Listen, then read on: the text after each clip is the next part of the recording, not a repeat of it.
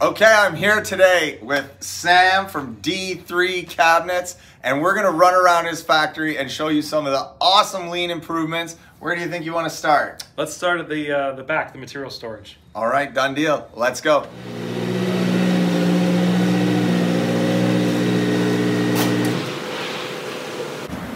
Okay. So one of the great improvements we've done is we've taken all of our standard materials and we've uh, made this board. So it shows what we, what we have, what we were missing, and this allows us to um, double check the material as it comes in from uh, the uh, supplier. So we can quickly double check and say, yep, that's the right stuff.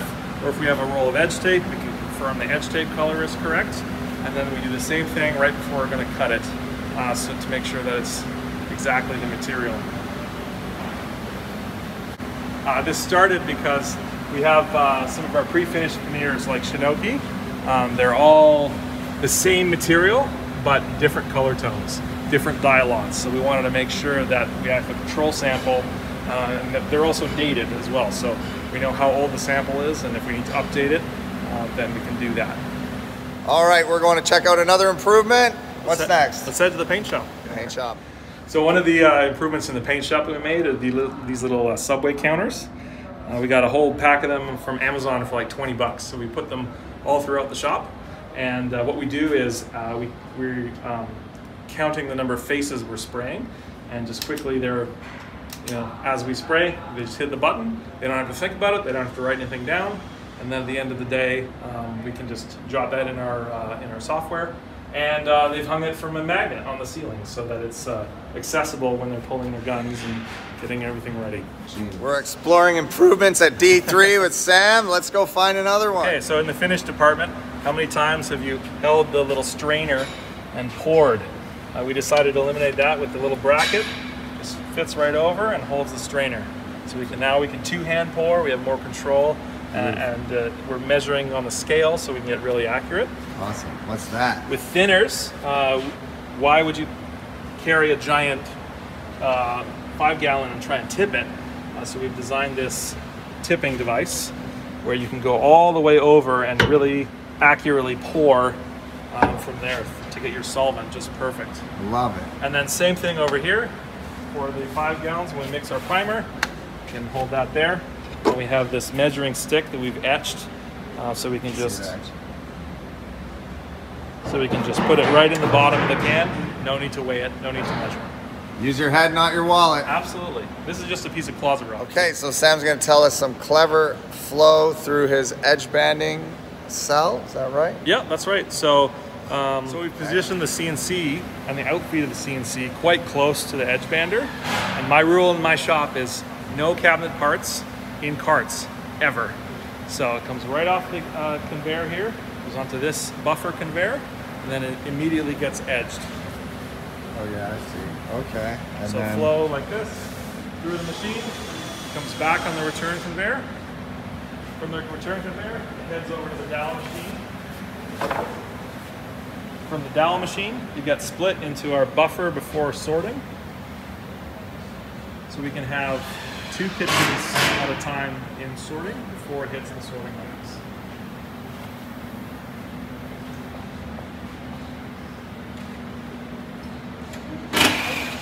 and then this is the other side of the sorting rack where we've got the assembly through the case clamp, comes out of the case clamp, right into a strapping machine, right onto this table. That's pretty good, Sam. So lean is about humans, uh, and we don't want to struggle. We don't want to hurt our backs. So when cabinets come off uh, the clamp and get all wrapped, they go straight onto the table here, down to this end, and then we just put our feet here, give it a stop, and we move the cabinet onto the floor like that. So we don't lift anything from here. It goes straight onto a pallet, ready to ship. So now you've seen the flow. We're gonna look at one of the machines that Sam has done an amazing job at with the principle of where the question is, the answer should be. Let's go. So the edge bander, as I'm sure we all know, is the most complicated machine that many of us have. um, and is also the most temperamental. So, bringing on new employees, it's very uh, nerve wracking to hand them the machine. So, what we've done is we've gone through each working unit here and we've made a video explaining how it works, what it does. Scan the QR code for this. That's right. Scan the QR code for that. Scan the QR code for that. And every single station has a QR code available to the operator. That's Amazing. right. And then they're all videos, and we've made uh, printouts in a book here, so it's quick and easy reference if someone doesn't have their phone on them. Uh, yeah, it's been awesome. We can get totally green operators to just come in and run the machine. Look at this. Not one single missed item on this entire piece of equipment. And never hurts to organize your tools. This, Sam, is a 10 out of 10. Thank you, thank you. We all love edge banding storage, so let's take a look at what Sam came up with Storage this. is always a problem. Um, what we've realized is that one of these binder clips, um, I think the medium size, Oh. is the exact width of normal tape. Oh, that's brilliant. So instead of taping all the time and having bits of tape everywhere, and it's it's a struggle. It's awful. So we just use the binder clip, and then each shelf we have a dedicated number of slots for each color, and each shelf has the reorder position where we have our Kanban card, which triggers ordering edge tape. Beautiful. Okay, so for everybody who's put masking tape all over every edge banding in the world, oh my God, this is huge. Large binder clip, and you can see it right here on the machine itself. So we know what roll is actually on the machine. So good. Uh, you ever look for tools around your shop? Not Sam. Pretty cool. So we did this a long time ago with uh, organizing all the commonly used tools. You can see though it doesn't quite work because there's some things missing. What we found is our shop's 100 feet long, so when I'm at the back working on a dust collector and I need a screwdriver, I gotta come all the way here to get it. What we've done over here is we've turned all of that into a mobile cart.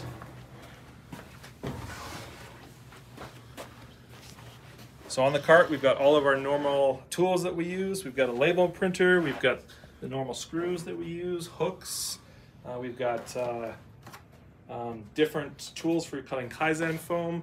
It's all on the assembly cart. So Henry Ford once said, "No machine in a factory for, should be even one inch further away from the operator than it needs to be, but not one inch too close." And this man right here has got building a cell down to an art. It's amazing. So uh, drawers come to the cell. Um, all of our uh, pre-sorted components are here with their uh, labels, and we sort in sides and uh, front and back and bottoms below. Um, we assemble it right here. We can clean the edges, we can uh, uh, clean files if we need. We've got our glue, we've got our blocks, everything where it needs to be. Then we put it in the clamp. After it goes in the clamp for five minutes, we have all of the screws, we have the clips, we have the drills, all right in front of the operator. And you have the SOP right in front of the You got it. operator. Yep. That's how we do it.